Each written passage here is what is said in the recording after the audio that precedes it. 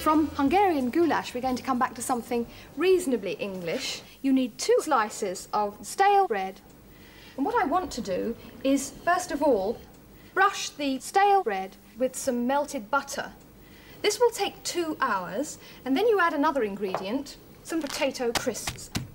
And what you do is you crush them, go nice and crisp and crunchy. Place crisps on bread, and you're supposed to arrange them rather like slates on a roof.